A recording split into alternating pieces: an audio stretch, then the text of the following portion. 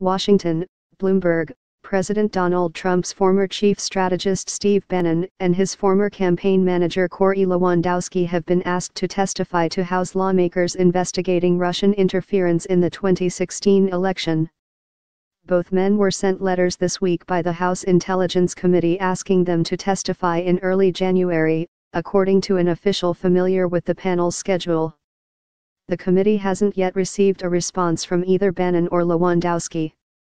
The invitation, which didn't come in the form of a subpoena compelling them to testify, was for a voluntary interview in the committee's offices, which means it would be held behind closed doors, the official said.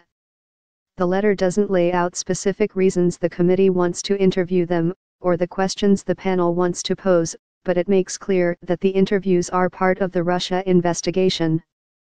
Bannon, who worked as Trump's top strategist during the campaign and for several months in the White House, hasn't been publicly accused of any wrongdoing.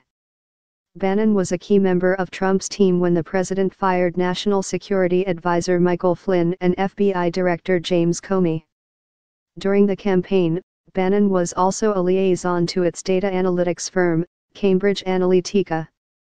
Alexander Nix, the chief executive officer of Cambridge Analytica, met with the House Intelligence Probe earlier this month.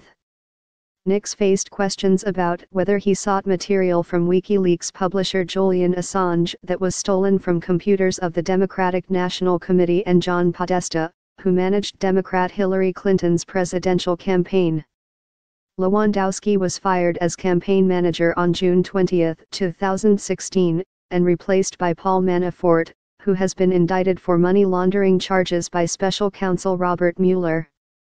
Before Lewandowski left, he was among several senior Trump campaign officials who received communications from foreign policy advisor George Papadopoulos about his outreach to the Russian government, according to published news accounts.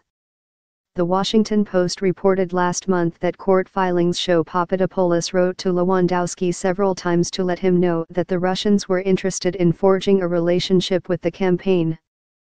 The Post said that included one message in May 2016, in which Papadopoulos forwarded to Lewandowski an offer of cooperation from a Russian with links to the Ministry of Foreign Affairs.